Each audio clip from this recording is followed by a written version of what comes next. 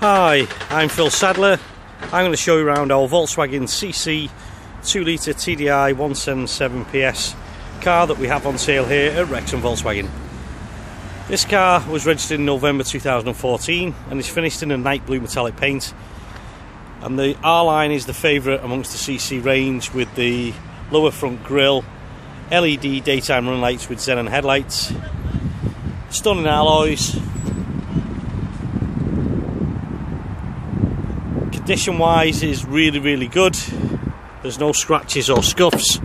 Inside you've got full leather interior, sat nav, heated seats, climate control, traction control, and this car has only done 4,212 miles. Along with cruise, multifunction leather steering wheel and auto headlights, this car is pretty much fully loaded, including front and rear parking sensors as well, and a massive boot that you get on the cc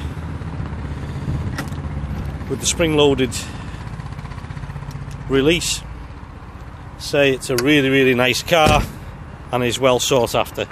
So for more details and to arrange a test drive give Phil a ring on 01978 340 600 many thanks